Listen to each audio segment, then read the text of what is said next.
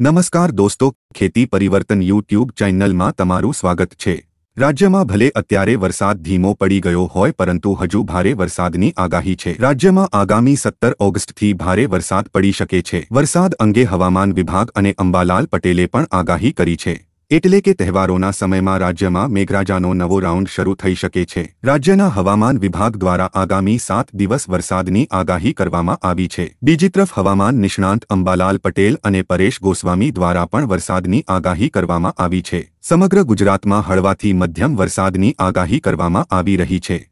બનાસકાંઠા, સાબરકાંઠા, મહેસાણા પાટણ, દાહોદ, છોટાઉદેપુર, નર્મદા, ભરૂચ, સુરત, નવસારી, વલસાડ, દમણ અને દાદરા નગર હવેલીમાં ભારે વરસાદ સાથે યેલો અલર્ટની આગાહી કરાઈ છે. જ્યારે પોરબંદર, જૂનાગઢ, અમરેલી, ભાવનગર, ગીર સોમનાથ અને દીવમાં ભારે વરસાદ સાથે યેલો અલર્ટ અપાયું છે.